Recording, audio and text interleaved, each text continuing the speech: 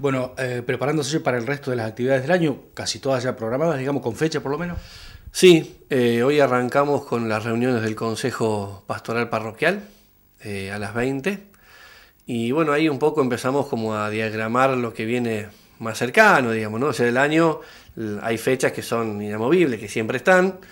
más allá en marzo, a mediados de marzo comenzaremos con la inscripción de, de la catequesis, ¿no? De a poquito va como retomando el ritmo de la parroquia, así que, eh, pero bien, digamos, yo creo que va a ser eh, un año donde vamos a poder compartir, eh, participar y hacer crecer nuestra vida de fe, así que bueno, de a poquito vamos como, como tomando el ritmo de, del año, digamos, ¿no?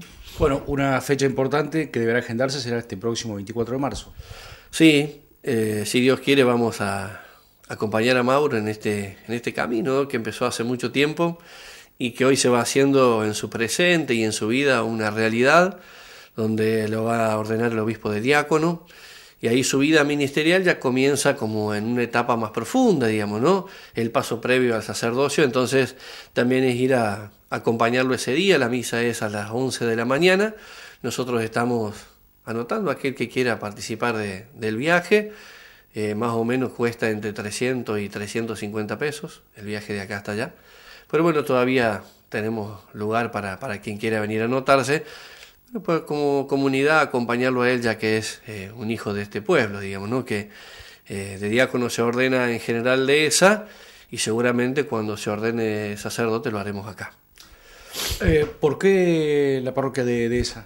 Porque él está en ese lugar, el obispo lo mandó a hacer estos primeros pasos, digamos, eh, a esa parroquia, entonces él está trabajando en esa parroquia y bueno, ha decidido que la ordenación de diácono sea ahí y la sacerdotal sea aquí. Digamos, ¿no? Eso es una cuestión que, que se habla, se comparte, digamos, ¿no?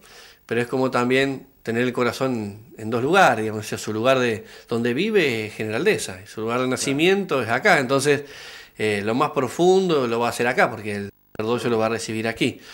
Eh, pero bueno, el diaconado ha querido hacerlo ahí, así que vamos a acompañarlo con, con toda la alegría, ¿no?